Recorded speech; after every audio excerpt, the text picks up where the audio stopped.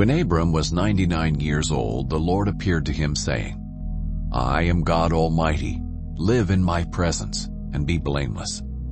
I will set up my covenant between me and you, and I will multiply you greatly. Then Abram fell face down, and God spoke with him. As for me, here is my covenant with you. You will become the father of many nations. Your name will no longer be Abram. Your name will be Abraham, for I will make you the father of many nations. I will make you extremely fruitful, and will make nations and kings come from you. I will confirm my covenant that is between me and you and your future offspring throughout their generations. It is a permanent covenant to be your God and the God of your offspring after you.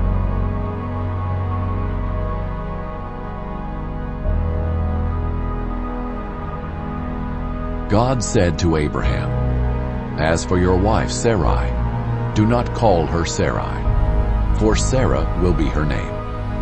I will bless her.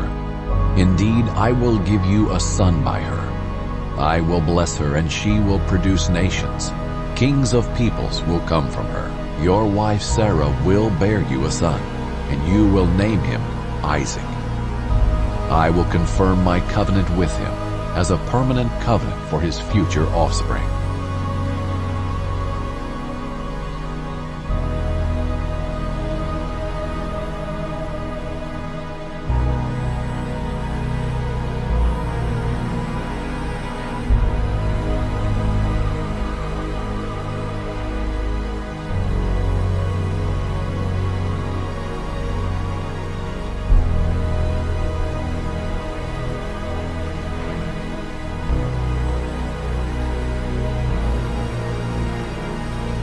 God Almighty bless you and make you fruitful and multiply you so that you become an assembly of peoples. May God give you and your offspring the blessing of Abraham. Your name will no longer be Jacob. It will be Israel, because you have struggled with God and with men and have prevailed. I will give you and your offspring the land on which you are lying. Your offspring will be like the dust of the earth, and you will spread out toward the west, the east, the north, and the south. All the peoples on earth will be blessed through you and your offspring.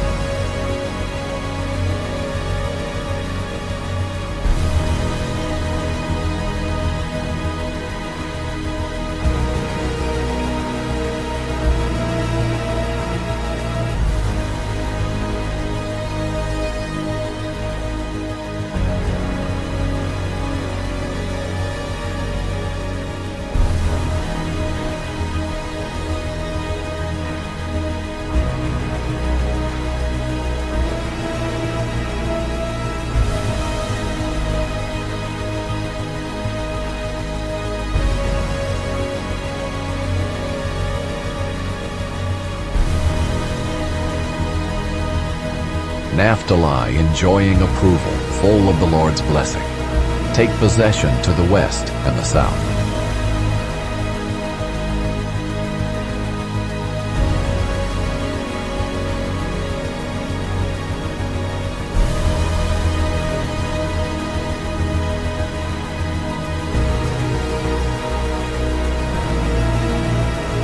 Dan, why did you linger at the ships? Asher remained at the seashore and stayed in his harbors.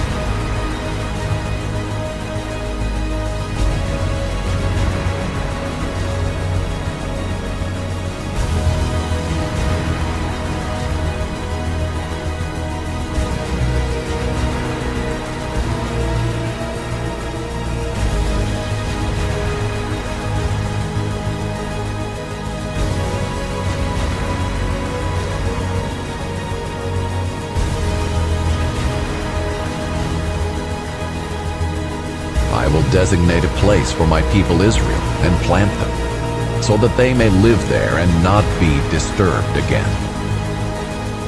In days to come, Jacob will take root. Israel will blossom and bloom and fill the whole world with fruit.